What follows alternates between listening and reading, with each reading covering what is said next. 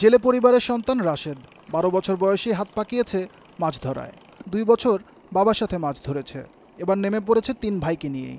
তবে বিধিবাম জলের গভীরতা বেশি, তাই মাছও ধরা পড়ছে কম। আগে অনেক বড় বড় মাছ ধরতে যেতাম।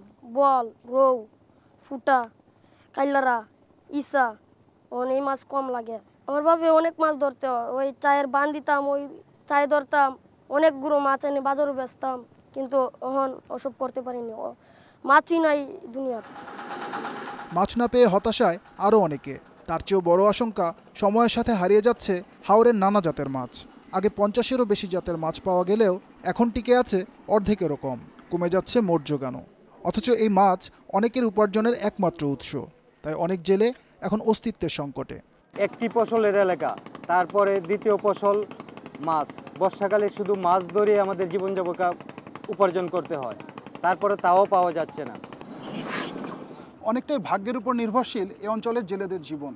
বিকল্প কাজের সুযোগ কম, তাই হাওরে মাছ কমে আসার সাথে সাথে তাদের লড়াইটা আরও কঠিন হয়ে যাচ্ছে। সিহাদ সিন্ধু, যমুনা নিউজ, ইটনা, কিশোরগঞ্জ।